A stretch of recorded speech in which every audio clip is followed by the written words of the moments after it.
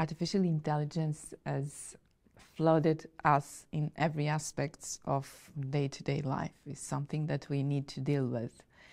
It has become as a frightening aspect for many doctors because they think they will be replaced by the computer to do many things. So they are afraid of that, although they are curious about what can be done with artificial intelligence. In fact, artificial intelligence is exactly what the name states, is the computer can do certain tasks uh, better or identical as our brain does.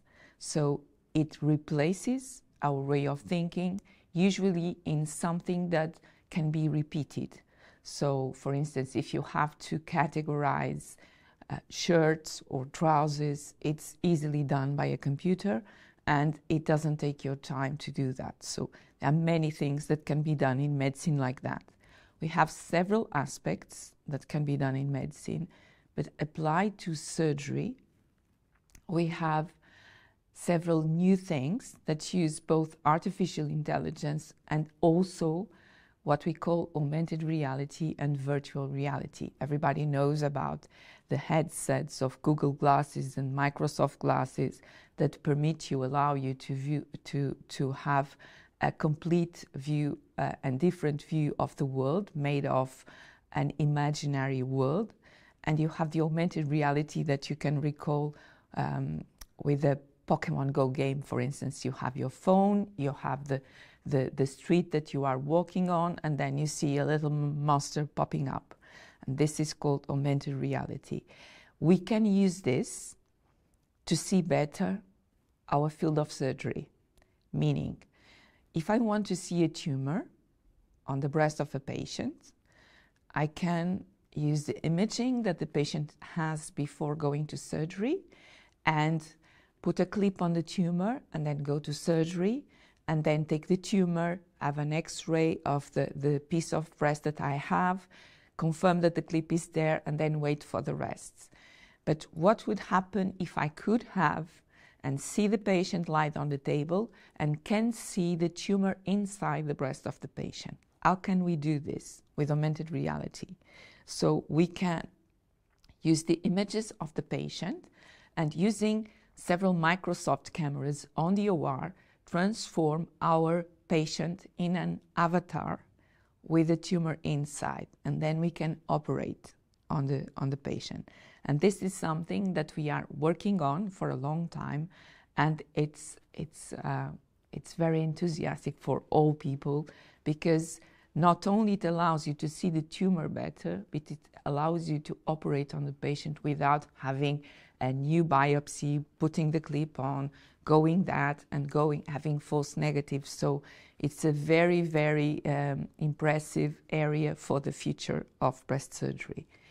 The other thing that we are doing, and um, I'm talking about this, is called the Cinderella trial that is going to start this year in June, is using artificial intelligence to um, show the patients how they will be after surgery. Okay, so we have a problem. 30% of our patients have low expectations regarding the result of surgery.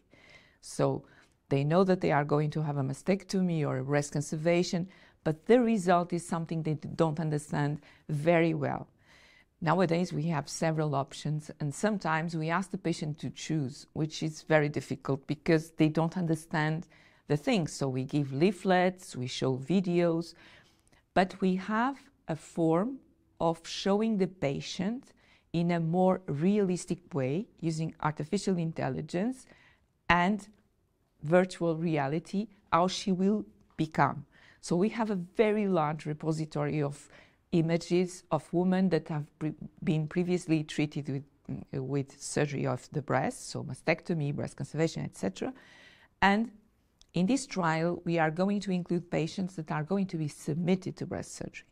We take a photograph, and with this photograph, and using artificial intelligence and deep machine learning, we're going to search the database for the best matched picture for the result of this surgery the woman is going to have.